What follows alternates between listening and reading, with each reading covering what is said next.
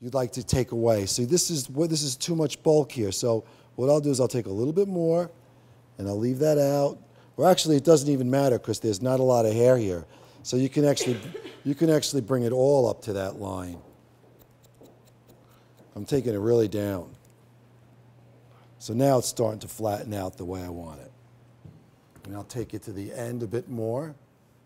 See where, I, where I, you know, my weight is. If you guys can see like that, can you see that? You can see exactly where I'm shifting this weight to. I'm actually pushing it right to the opposite side. So let me get that better grip.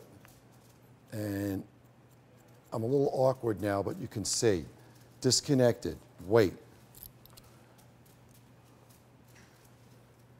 And what that, what that does is it, it gives you the ability to have a long top, but not all that weight in the center. And you're just pushing it over to the side. Disconnect. And look, look at the difference in, in the way that disconnected top starts to fall in.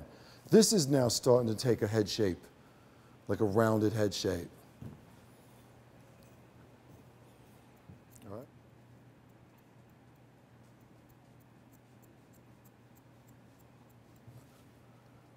Now, let's talk about, you know, strong looking haircuts.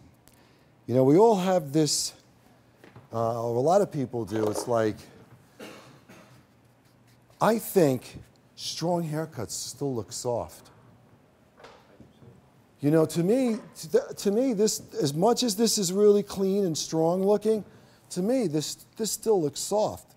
This could be like so many, so many different things that you can do with this haircut.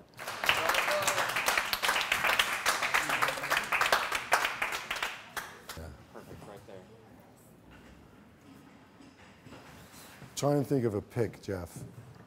I left my camera, so